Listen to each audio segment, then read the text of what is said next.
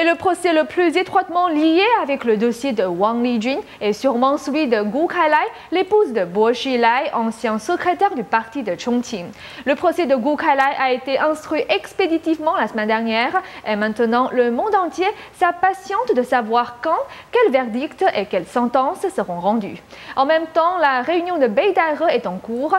Le sort de Gu Kailai se trouverait au cœur du conflit de différentes factions du plus haut niveau du PCC.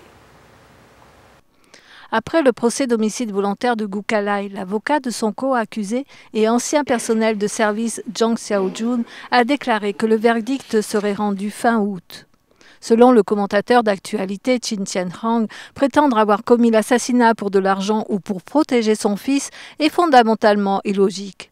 Au cours du procès, aucun motif réel de l'assassinat n'a été évoqué et aucun nom de Bo Xilai ou de Wang Linjun n'a été mentionné. C'est explicitement trompeur et clairement illogique. Elle a caché le vrai motif de son assassinat. Gukalai est lié avec Boshilai et Nel Heywood dans les prélèvements d'organes des pratiquants de Falun Gong et les ventes de leurs dépouilles. La semaine dernière, NTD a obtenu des sources fiables selon lesquelles Gukalai est directement impliqué dans les prélèvements d'organes et les trafics de corps humains. Selon Chin Chen Hang, ce genre de trafic est certainement lié à de nombreux autres participants comme la police, l'armée et des pays étrangers. C'est-à-dire que des personnalités importantes du PCC sont aussi impliquées dans cette affaire. De ce point de vue juridique, la peine de mort ne serait pas suffisamment sévère. Si l'on veut mener une enquête approfondie dans les coulisses de cette organisation meurtrière, une Goukalai en vie représenterait une menace potentielle pour toute personne impliquée.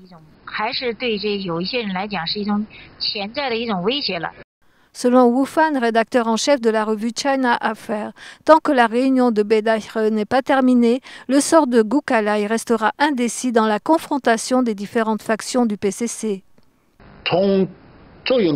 Pour Zhou Yongkang, il souhaite la mort de Gukalai parce qu'il a peur que celle-ci révèle plus de choses qui lui sont défavorables. Mais pour Hu Jintao et Wen Chabao, il préfère la garder en tant que témoin vivant. À mon avis, rien n'est encore décidé pour le moment. L'agence Xinhua a publié récemment un article de Libid détaillant le procès de Gukalai. Cependant, Libid n'est ni correspondant basé au Anhui, ni journaliste juridique, mais un reporter qui a le plus fréquemment suivi les activités de Wen Jiabao ces dernières années. Selon des observateurs, il se peut que Wen Jiabao ait le contrôle du procès de Gukalai en secret. Nouvelle NTD.